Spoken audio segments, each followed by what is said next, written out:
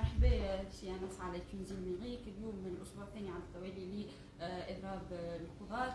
يبدو إنه مستمرين في هذا الإضراب ومن الممكن حتى إنه أسبوع ثالث وحتى رابع إذا لم يتم معناتها فتح قنوات الحوار اللي طلبت بها والتراجع على قائمة الاعفاءات.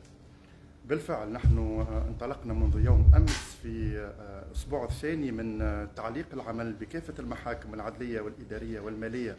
وكافة المؤسسات القضائية. هذا الأسبوع الثاني وضعنا له ترتيبات. هناك مجموعة من الاستثناءات التي لا تنطبق على تعليق العمل منها مطالب الإفراج منها قضايا الإرهاب شديد التأكد على مستوى النيابة والتحقيق منها الأذون التي انتهت فيها اجال الاحتفاظ مجموعة منها مطالب توقيف التنفيذ لدى المحكمة الإدارية مطالب توقيف وتأجيل التنفيذ لدى المحكمة الإدارية ومطالب توقيف التنفيذ لدى المحاكم العدلية ومناقشه رسائل التخرج بالمعهد الأعلى للقضاء. نحب نقول اللي هذه التحركات لم تكن تكون نابعة من اختيار من القضاة. هذه تحركات فرضت فرضا على القضاء وعلى القضاة من أجل الدفاع على سلطتهم القضائية من أجل الدفاع على القضاء النزيه القضاء المستقل القضاء حامي الحقوق والحريات من أجل التصدي للهيمنة الكبرى والتصدي لوضع اليد بالكامل من قبل السلطة التنفيذية على السلطة القضائية التي يراد لها أن تكون طيعة وفي يد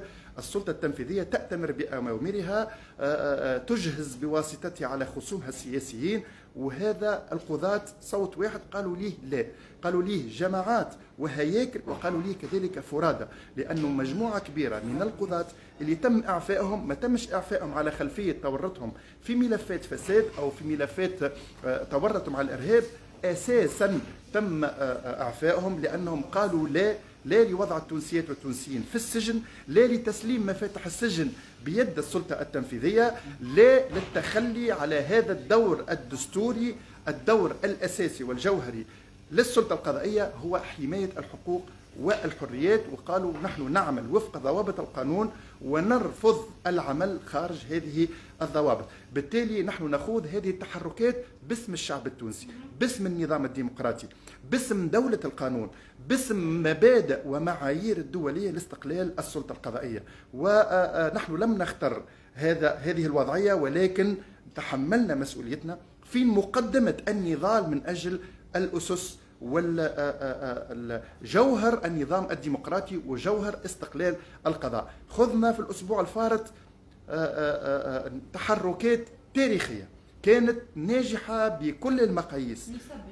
نسبة النجاح صدرناها في بيانات كانت خلال الأسبوع الأول نسبة 99% عدنا إلى كهياكل اجتمعنا قيمنا هذه التحركات ثم قررنا استجابة للإرادة الغالبة للقضاة المضي في أسبوع ثاني يوم أمس كان يومها الأول اليوم نحن في اليوم الثاني يوم أمس كانت كذلك استجابة واسعة وكل المحاولات التي قادتها وزارة العدل وقادتها السلطة التنفيذية لإثناء القضاة على المضي في تحركاتهم النضالية بات بالفشل محاولات من أين؟ محاولات تاع ضغط على القضاة حملهم على معناها كسر نضالاتهم المشروعة على استئناف العمل خارج إرادة الهياكل القضائية الستة المجتمعة وخارج إرادة 1500 قاضي اجتمعوا يوم 4 جوان في اجتماع حاشد هناك ترهيب هناك اتصالات بالمسؤولين على المحاكم هناك تهديدات بالاقتطاع من الأجور ولكن القضاة رغم كل هذه التهديدات رغم التشويهات رغم إعادة بث الروح في بعض مواقع التواصل الاجتماعي وبعض الصفحات التي أصبح القاسي والداني يعلمها لترهيب القضاة لاستعادة حملات التشهير وحملات الترهيب وحملات التخويف. القضاة صامدون متمسكون بحقهم الشرعي. في الدفاع على زملائهم في الدفاع على مبادئ استقلال القضاء في الدفاع على سيادة القانون على دولة القانون على النظام الديمقراطي. نسبة الإضراب يوم أمس كانت واسعة الاستجابة كانت كبيرة. صدرنا بلاغ حددنا فيه نسبة 95% من الاستجابة وكل من ارتاد المحاكم يشهد على صحة هذه النسب وعلى معناها توقف العمل وتعليق العمل بالكامل في أغلب محاكم الجمهورية بنسب عالية وعالية جدا فيما عدا الاستثناءات التي تم التنصيص عليها في بلاغ ترتيبات تعليق العمل. نقول أننا لا نريد المضي قدما في هذه التحركات. نريد فتح باب الحوار وباب التفاوض من أجل هدفين أساسيين في الوقت الحالي وهو رفع المظلمة على زملائنا 57 المشمولين بالأمر الرئاسي عدد 516 وكذلك التراجع على المرسوم عدد 35 هذا المرسوم الذي معناها أساء لتونس في الداخل وفي الخارج المتناقض مع الدستور البلاد الساري المتناقض مع المعايير الدولية المتناقض مع التزامات الدولة التونسية في الداخل وفي الخارج. آه، آه، آه، بطبيعة الحال نحن واعون حقيقة بمعناها حساسية الوضع بخطورة الوضع. نحن نريد أن نكون إيجابيين نمد أيدينا لرئيس الجمهورية من أجل التباحث والتحاور حول كيفية إصلاح القضاء كيفية مناهضة ومكافحة مظاهر أو بعض مظاهر الفساد اللي موجود داخل القضاء. وهذا لن نبدع فيه ولن نبتدع فيه لأن هناك معايير هناك آليات معروفة كيف نقاوم الظاهرة الفساد ليست في القضاء فقط ولكن في كل مؤسسات الدولة. ونحن نعلم حق العلم وحق اليقين أن آلية الإعفاء هي آلية مناهضة ومخالفة لآليات المعهودة والمعروفة على المستوى الدولي لمكافحة الفساد. هي متعارضة بالتمام والكمال مع هذه الغاية. وبالتالي الترويج لأن هذه الآلية الهدف منها آه، آه، آه، تطهير القضاء أو مناهضة الفساد داخل القضاء هذا أمر فندناه في الندوة الصحفية. وبينا أن 45 قاضي من جملة 57 ليست لهم أي ملفات لدى تفقدية وزارة العدل وأن هذه الإعفاءات انبنت على تقارير سرية من الجهات الأمنية أو بعض الجهات الأمنية وانبنت على الوشايات وعلى التنصت خارج إطار القانون. وبالتالي نحن من حقنا باش ندافعوا على استقلال القضاء وعلى الضمانات تاع استقلال القضاء واستقلال القضاة. ومن حقنا المشروع المضي في تحركاتنا إذا لم يقع الاستجابة لطلباتنا وفتح على الأقل فتح باب الحوار وباب النقاش مع آه، آه، رئيس الجمهورية. يعني نفهم من كلمة أنه المضي في آه، تحركات في هذه التحركات ربما الإضراب في ذلك الأسبوع الثالث والرابع وحتى من الممكن أنه يكون إضراب مفتوح. هذا في صورة لم يتم فتح باب الحوار والتفاوض والتراجع على قائمة الإعفاءات. ما نقوله؟ أن هذه التحركات فرضت علينا فرضا. وبالتالي آه، آه، آه، القضاة ليسوا هم المسؤولون عن هذه التحركات.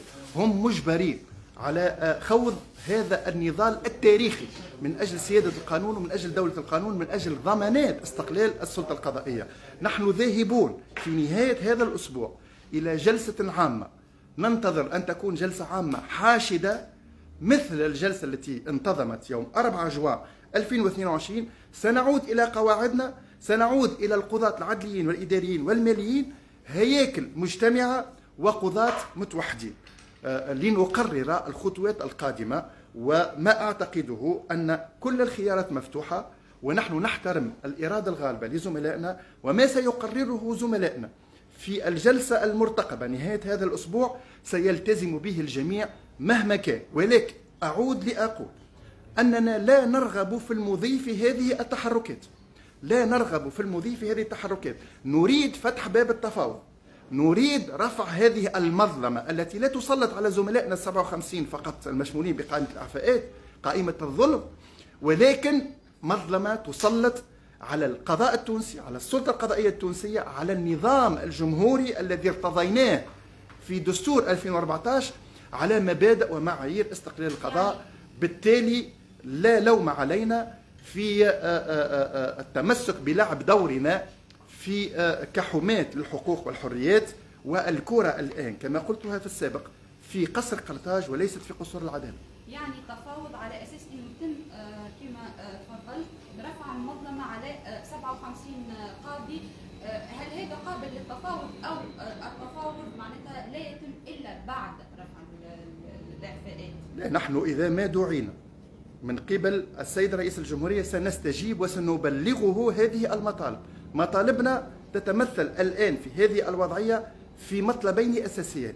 التراجع المرسوم عدد 35 والتراجع على الأمر الرئاسي عدد 516 ثم في المستقبل إذا ما ارتأى رئيس الجمهورية أن نفتح باب الحوار حول كيفية إصلاح المنظومة القضائية حول كيفية معالجة بعض المظاهر نتاع الفساد الموجود فيها من كافة الجهات ومن من مختلف الزوايا وبمقاربات معترف بها على المستوى الدولي نحن آه، مستعدون لذلك. بل لدينا برنامج إصلاحي متكامل ينقذ القضاء التونسي من كل السلبيات الموجودة فيه ولكن يحمل الكافة الكافة مسؤوليته في ذلك لأن مسؤولية إصلاح القضاء هي فيها الجانب التشريعي اللي تتحمله السلطة التشريعية فيها الجانب التنفيذي اللي تتحمله السلطة التنفيذية وفيها كذلك الجانب القضائي اللي تتحمله السلطة القضائية ومؤسساتها.